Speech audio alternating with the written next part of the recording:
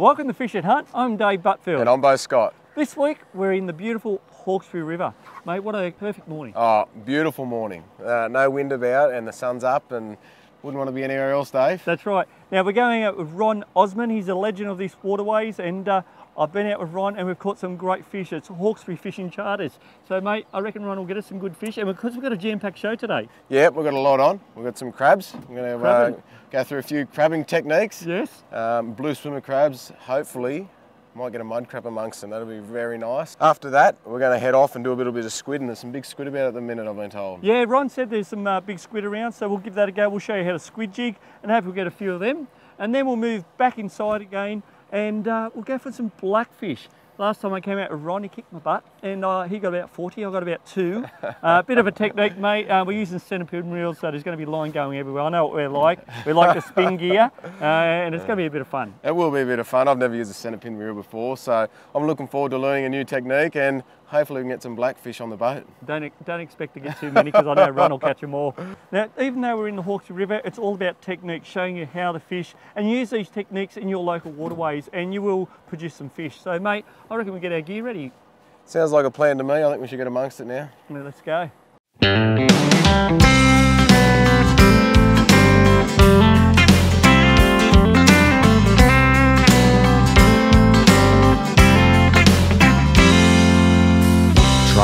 Survive, barely getting by. Feels like a lifetime till payday.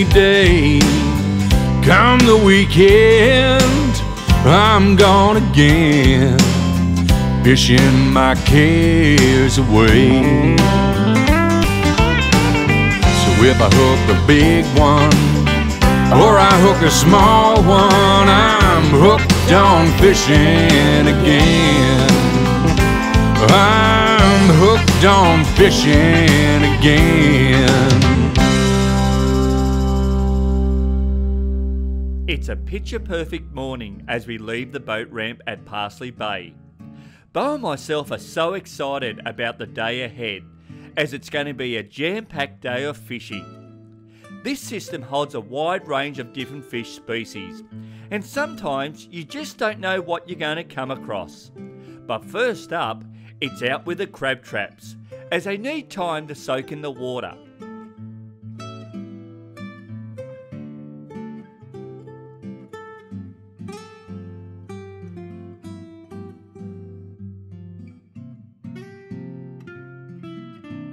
So Ron, we're um, using a few different baits today. Floated in that one, but I guess you can use a bit of anything for bait, can't you? Anything doesn't matter. People buy chicken necks, and if I was going to buy bait, I'd probably buy mullet. But um, just an oily, stinky fish. But I just tend to don't really buy bait. Just use whatever, yeah, whatever's going, whatever we've been catching. I just keep my heads. And the length of the rope's pretty important. Obviously, you need, you need enough length for the traps to be on the bottom. Yep. To yep. not bring them up off the bottom with a bit of tide or a bit of seaweed. And I guess the buoys, so obviously very important. So you can come back and pick your traps up. Yep. Legal requirements, um, we've changed them to, got to have HN, hoop net. Um, we got on this one. First, first initial. First, first initial, last name, postcode, and what is it? The date of birth. Date of birth. Yep. So I guess if the fisheries come across, this is what you need on your buoys to uh, recognise whose they are, otherwise they'll take them away from you. What about nets? Is there a limit to how many nets you're allowed to have per person? Yeah, four per person. It used to be five, they've just changed it. And uh, they put the mud crab traps up to two per person now. So.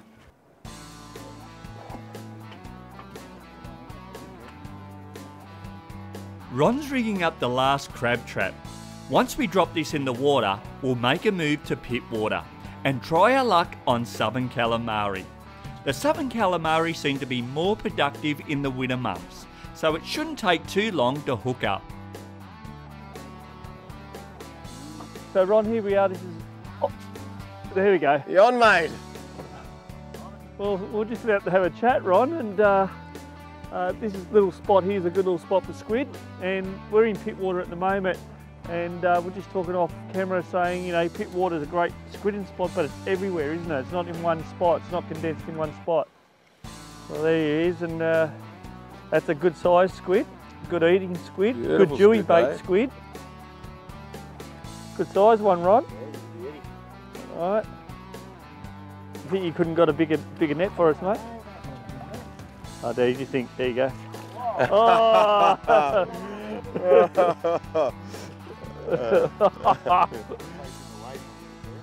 and these are the Daiwa squid jigs. I was just saying they're on um, different to the cloth. These are they've got a smooth coating on it. They're like a plastic material.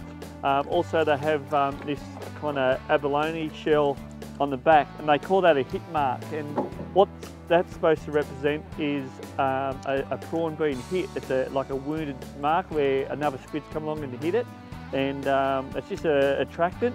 Uh, but these work great. This is about a two and a half. You can use the bigger ones in this area because these bigger squid will take that. But uh, the green colour for the green eyes, I like the green. It works quite well, but the Daiwa's got a great range of colours to choose from. It's a beautiful squid, and uh, we've only been here for 30 seconds, and we've got one already. So uh, we're going to put him in the live well. Uh, we'll get some more jigs out, um, and we'll talk about jigging, how to do it, and uh, different techniques. You can go pretty aggressive, you can go soft, but uh, we'll get him in the live well, and we'll get some more squid jigs back out in the water.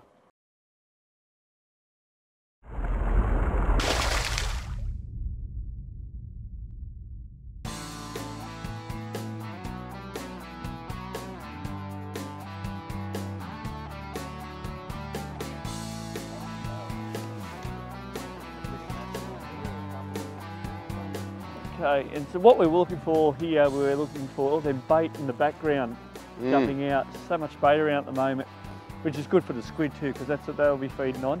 And so we've got our squid jig out, count about three or four seconds, and then you just go rip, rip, and that's it. Uh, look, it's a great sport. It's getting bigger and bigger every year, squid jigging in Australia. Uh, over Japan and all them areas, it, it's massive.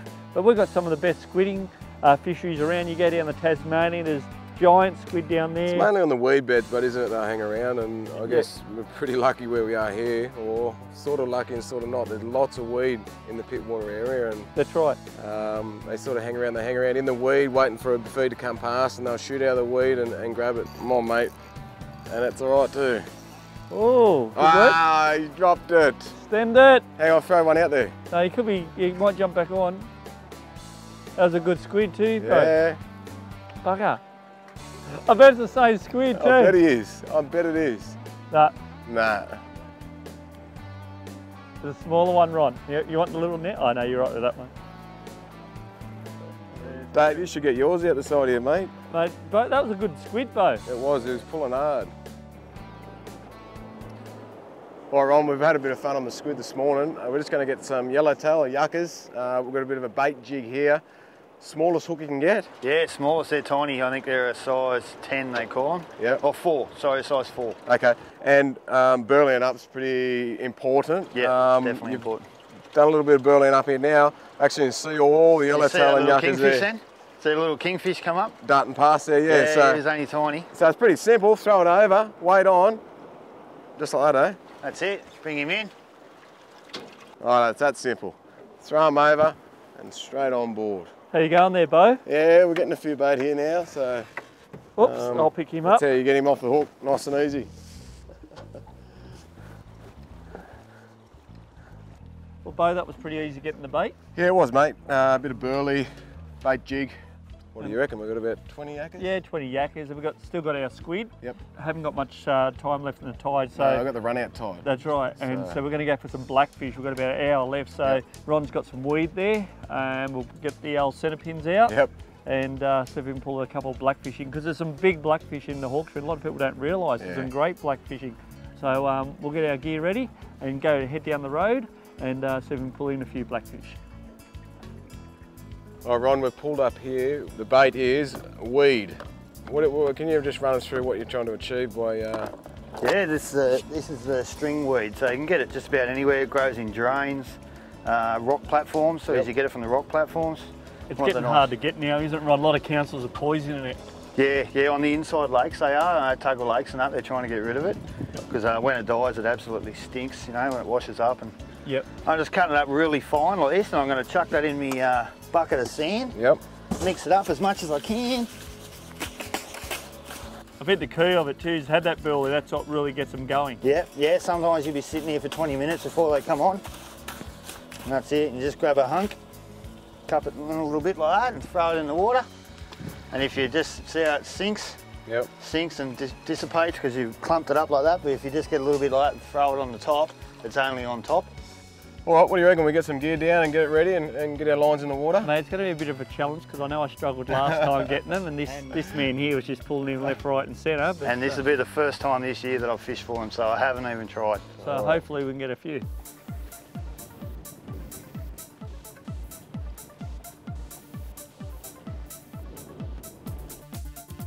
Well done. I'll be yes when I get it in the boat. Uh, There we little go. Baby. At the moment, I'll take it. Oh, first fish. There you go. Just a little baby, but still uh, coming to grips with the technique at the moment, Dave. Oh, technique, God, I've got no technique. I've just got fixed the mess up and hopefully a fish bites it. So uh, there's our blackie. So only a small one, mate, but um, there's still some bigger ones out there. All right, we'll get that back in. So we'll weed up and uh, yeah, it's just a bit of, you know, because I'm used to using spin gear and Beau myself, just having that line peel off. There's no drag on these at all. Yeah, so you've got to keep your eye on the line, make sure that doesn't fall off the side, and we've got the wind that's pushing on the line that's pushing it off the reel. It is. Making all the excuses up, Yeah, mate. it is. We're the best at making excuses. Beau! Oh, I was only pulling it back in too. Does that count, Ron? it counts in my book. uh,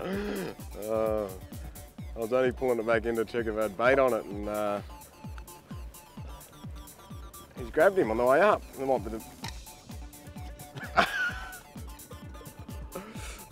Beautiful. Oh, there you go, eh? There you go. Might be the biggest of the day too. Nah, far off, my friend, far off. Wait you see the big ones.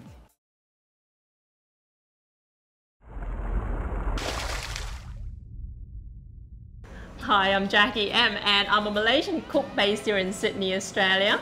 And I also happen to be good friends with Dave Butfield, which is very handy because Dave likes to fish and I like to cook. As you would have seen earlier in the show, he's had a very productive morning catching some blackfish, and he's also very kindly dropped some off for me as well. So I'm going to show you uh, how I would prepare it in a hurry because I like to keep things quick and simple. Okay? I'm just going to turn on this pan quickly while I continue talking. What I'm going to do with this fish now, being Malaysian, we tend to like to keep our fish looking like fish. So I'm not going to try and fillet this, I'm going to cook this whole. And I've just managed to pull out a couple of ingredients from my fridge and from my pantry. I've got some curry leaves, very popular uh, in Malaysian curries. I've also got, got some kaffir lime leaves. These will give a very nice tangy zest to your finished product. And I've got some bird's chili.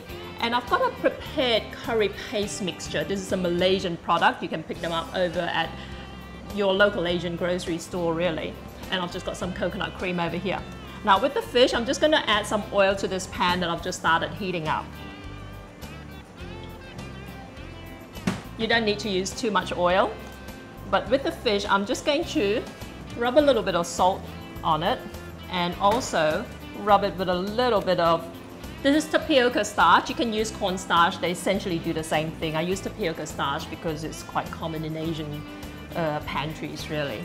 Okay, so let's just put this on and start cooking. I'm using portable stoves here for a reason because in case you're outdoor camping, you can see how you can put all this together very, very quickly. Now I'm just heating up this wok here. And to that, I'm going to add the curry paste, some water,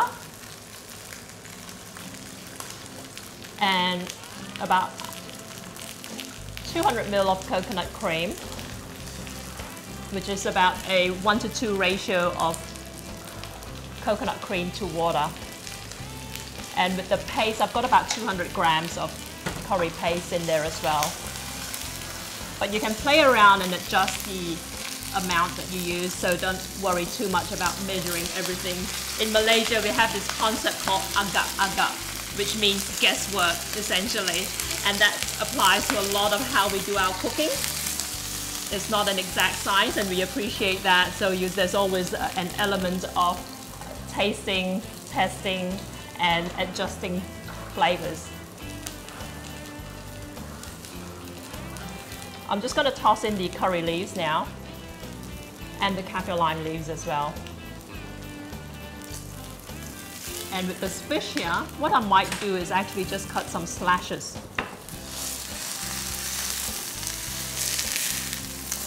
Now just keep in mind that the fish is going to continue cooking a little bit after you remove it from the pan, so you don't want to cook it till it's completely cooked through.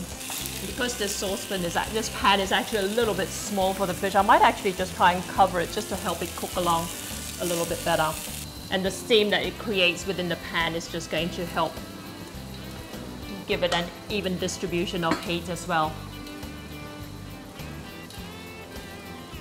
Let's just taste this curry sauce. It's not bad actually.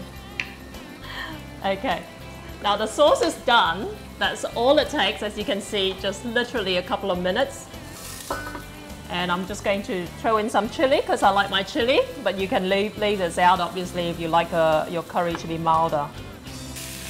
Okay, I think we're done. I'm just going to turn this off. I'm just going to leave the lid on this pan for a little bit longer and then I'll serve it up, pour the curry sauce over it and show you what it looks like at the end. Okay, so this fish has cooked for about four or five minutes, I would say, and just a couple of minutes on the sauce. I'm just going to serve it up now. and pour the sauce over it.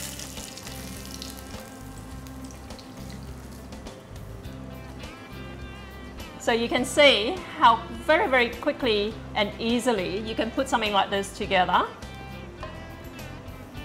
And it's going to taste beautiful as well. So what I've done, as you can see, just within four or five minutes is just dusted the fish with a little bit of tapioca flour, pan fried it and at the same time I've just heated through some curry sauce made with a prepared curry mix with uh, some extra uh, herbs added into the mix just to make it a little bit more interesting. And uh, if you need the actual recipe or you want to find out more about the other things that I do, just visit my website, which is uh, jackiem.com.au. But in the meantime, why don't we go back to Dave and see what he's up to now.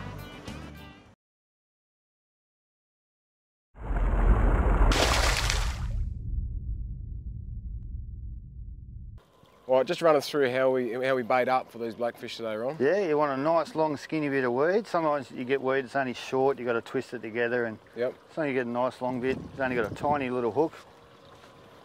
You've got small mouths. And we're using a float there, obviously. Yeah, got the float, little running float. It's going to go up and here, our float stopper. Yep. So at the moment, that's how far down the... So about a metre. Yeah, it depends where you're fishing, you know. You, you'll know when you get hooked up on the bottom. You just got to go a little bit shallower or Yep. just go out a little bit further. Yep. Get your nice long skinny bit of weed, just lay it on about halfway just above your hook. Round and round and round a few times. And get the other bit and go round and round the other way. Oh, very good. That's about it. Pull off any excess. Yep. That's it. When it hits the water, it'll drag down a bit. A lot of people use two hook rig. You can have another little hook coming off here with a bit shorter, shorter leader, but one's enough. Drop it in. And the good thing about these reels is you can just drop it in and you can just let go and it just goes out by itself. And you just got to wait for it to go straight down. If it lays over, goes down an angle like that, it means it's stuck on the bottom. Yep. If it goes straight down, it'll be a fish. You reckon? Yeah. Oh, come oh. on! Ron, what am I doing wrong? No, I would have left it. Oh, I said the mistake there. That was that was just way too too quick, too quick, but yeah. oh, No, no, no, no. You're oh.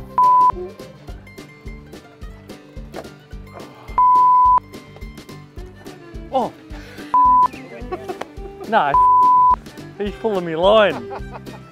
That's a better fish, Not mate. a bad fish either. Little of the bait there. Oh no!